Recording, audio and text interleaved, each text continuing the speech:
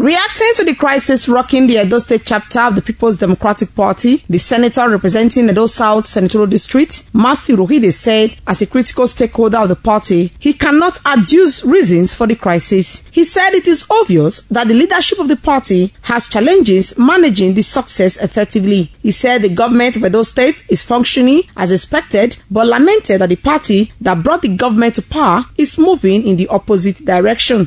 Whether we like it or not personal issues some of them expressing personal issues against the government. That is your personal issue. You should not bring it to the fore in the party.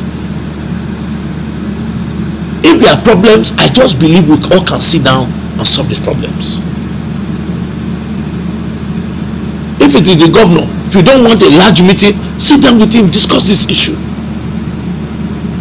This embarrassment that we are getting in the party is quite worrisome to some of us Senator Urhoghide said even though the PDP leaders knew that the governor came into the party with APC members, some of the leaders have been vehement in integrating those who came with the governor. Senator Urhoghide said he was pained that leaders like Chief Dan Orbih, who went round the 192 wards, including others, to ensure the victory for Governor Obaseki, were suspended. I started hearing this, this gale of uh, suspension and all of that.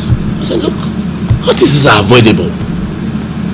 I mean why will you look at somebody like chief Dan Orbih who has laboured for this party over the years be suspended in the district? Why?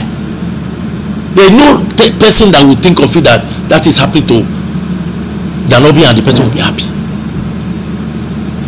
Ozi ogbede ama who is my colleague in national assembly with whom i have fought in oredo all these are elections to win together to say that it's been suspended and I will be happy.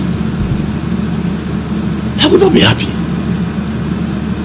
But the problem that we have is there are some of our leaders that really must come to terms with the truth. And the truth is PDP is in government in Edo State.